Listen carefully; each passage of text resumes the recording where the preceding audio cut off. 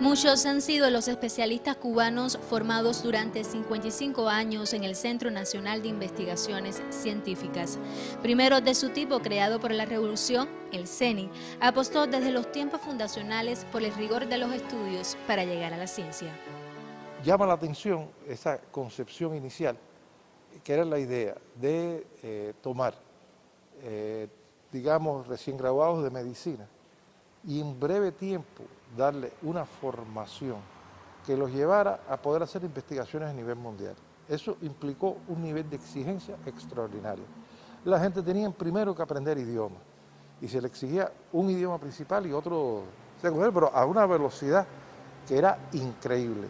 Nosotros tuvimos la suerte de tener con nosotros científicos de primera línea que vinieron por solidaridad con la Revolución Cubana. Durante esos años, la institución estrechó los vínculos con la Escuela de Medicina y el Centro de Investigaciones Digitales, hoy con Biomed. En 1970 contribuyó a la creación de la primera computadora en el país y desde entonces sentó las bases para el surgimiento del Centro de Neurociencias de Cuba. Así, poco a poco, el CENI sirvió de inspiración para otras instituciones de la industria biofarmacéutica cubana, siempre bajo la besada mirada de Fidel. Nos apoyó desde, el punto de vista moral y desde el punto de vista material todo el tiempo. Digo material porque sin él no hubiera sido posible tener lo que tenemos hoy, un polo científico eh, con una cantidad importante de centros de investigaciones centros y centros de producción, ya que Fidel siempre nos transmitió que él quería vincular los resultados de la ciencia con la producción de equipos, medicamentos que fueran útiles para nuestra población y para el mundo. Precisamente el comandante exigió a sus científicos el primer prototipo de un equipo Suma y fue así como dicha tecnología nació hace 40 años en estos laboratorios junto a un sistema de diagnóstico tipo ELISA.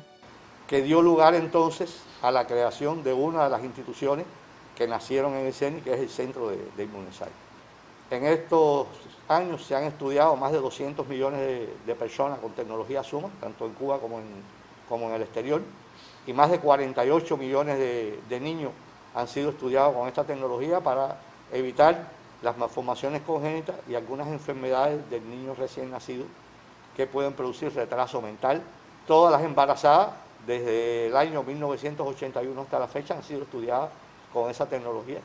Además de eficaces resultados en la medicina y la biotecnología, una de las mayores obras del CENI ha sido la formación de recursos humanos. Del 1 de julio de 1965 a la fecha, han egresado más de 30.000 profesionales, cifra que se multiplica en cientos de miles a lo largo del país. Para seguir respondiendo al llamado de Fidel de que el futuro de Cuba tiene que ser necesariamente de hombres de ciencia.